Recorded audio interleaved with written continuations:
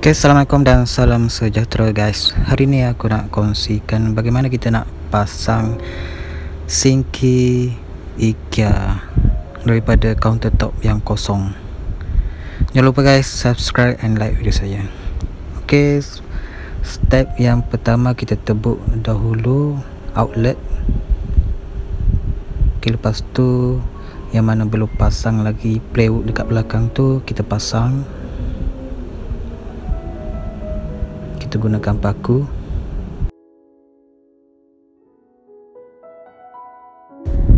Ok dah siap paku plywood. Proses untuk ukur dan tebuk lubang stock cock ok untuk stock cock kita perlukan lubang yang lebih besar sikit. Jadi kita kena pakai jigsaw untuk buat lubang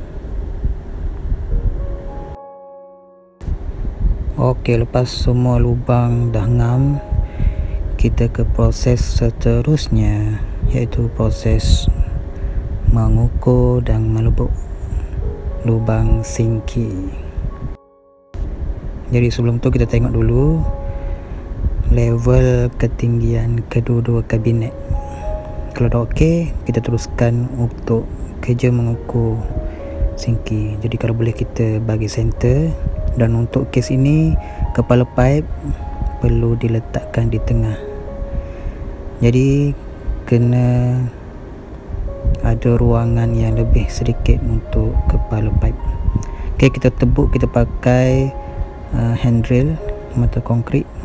Kita tebuk satu lubang je untuk kita masukkan gergaji jigsaw. Okay, jadi kita teruskan pemotongan untuk kita teruskan pemotongan kita kena letak juga skru. Pakai dua skru untuk mengelakkan potongan kayu yang kita tebuk tu terjatuh ke bawah. Jadi lepas dah settle semua kita lap semua habuk jangan ada yang melekat. Ok jadi bila dah ngam kita ukur pula untuk proses menebuk kepala pipe. Jadi untuk menebuk kepala pipe ni tak perlu lubang yang besar sangat. Cukup sekadar boleh masukkan dua hose ke dalam lubang tu.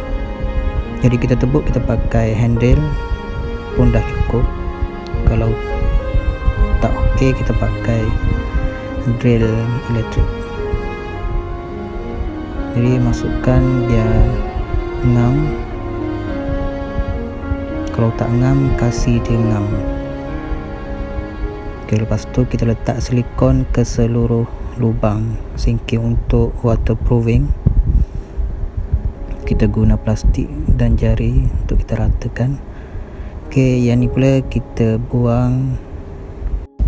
Ok buang plug untuk kita masukkan uh, connector daripada kepala pipe kepada kepada inlet.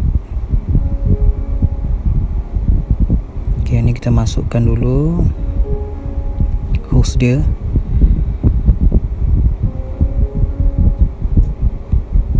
Ok lepas dah ngam semua kita masukkan dia punya uh, skru dan dia punya alat dia untuk jadi kita letak sinki dan sebelum kita letak sinki kita masukkan dia punya cangkuk. Fungsi cangkuk untuk uh, pegang sinki dan kabinet. Yang ni kelebihan sinki IKEA. Lepas tu kita ketatkan skru cangkuk tadi dekat countertop ok ada enam kesemuanya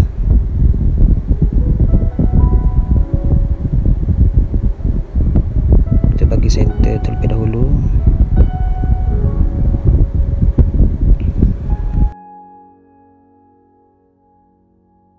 Ok lepas dah selesai ketatkan cangkuk kita pasang pula dia punya trap trap sinki jadi banyak bahagian yang perlu kita pasangkan.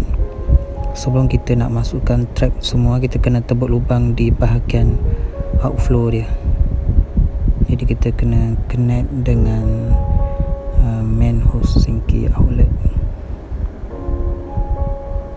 Jadi kita masukkan connector daripada kepala pipe kepada inlet dan kita pasangkan outlet. Kalau panjang tu kita potong lah jangan lupa letak solid tape white tape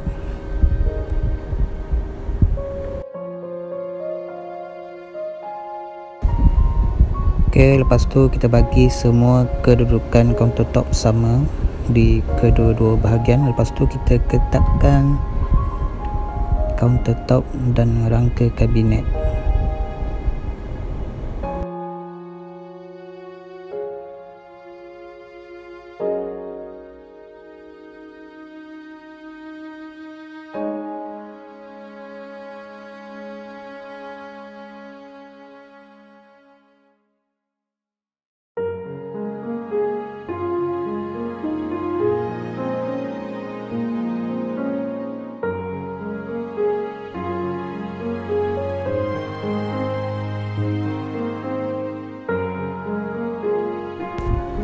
Okey lepas dah siap semua kita buat 5S sedikit. Kita kasih cuci tempat kerja yang kita buat tadi. Cuci segala habuk-habuk yang ada.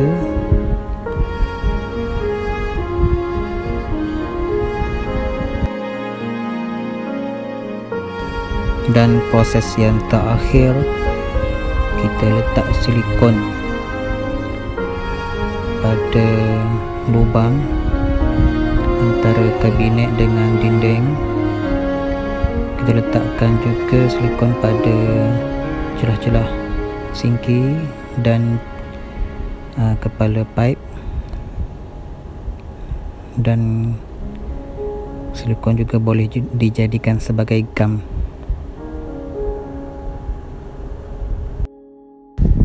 Ok lepas dah siap semua kita buat proses testing ok tadi kita dah buat lubang kita dah sambung inlet. Ok trap. Ok punya sinki cangkuk kita dah ketatkan semua. Kita dah letakkan silikon semua. Ok yang tu saja. Jangan lupa guys subscribe dan like